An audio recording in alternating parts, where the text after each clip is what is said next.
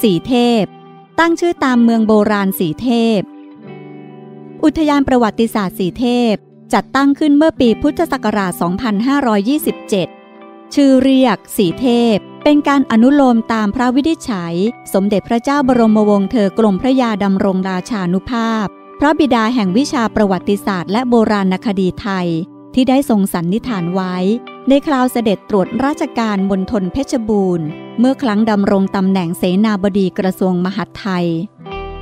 อำเภอสีเทพเดิมเป็นท้องที่ขึ้นอยู่กับอำเภอวิเชียรบุรี จังหวัดเพชรบูรณ์ ต่อมาได้แยกจากอำเภอวิเชียรบุรี มาตั้งเป็นกิ่งอำเภอสีเทพ เมื่อวันที่ 13 ธันวาคม 2513 และได้ยกฐานะเป็นอำเภอ เมื่อวันที่ 8 สิงหาคม 2519